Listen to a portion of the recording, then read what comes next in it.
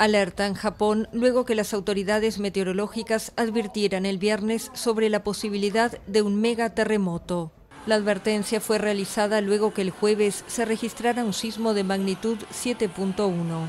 Es la primera vez que las autoridades niponas lanzan un aviso de este tipo a raíz del devastador terremoto ocurrido en el país en 2011, que desencadenó el accidente nuclear de Fukushima. Ante la alerta, el primer ministro japonés Fumio Kishida anunció que cancelaba un viaje al centro de Asia y que se quedaba en el país durante al menos una semana para asumir la más alta responsabilidad en materia de gestión de crisis. El aviso emitido por la Agencia Meteorológica de Japón estima que la posibilidad de que se produzca un sismo de gran intensidad es más alta de lo normal, pero aclara que eso no indica que un gran terremoto vaya a ocurrir con certeza.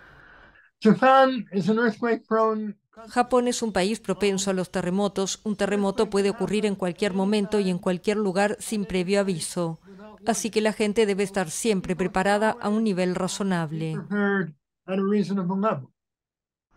El sismo del jueves no dejó daños materiales importantes. La Agencia de Gestión de Catástrofes informó de ocho personas heridas.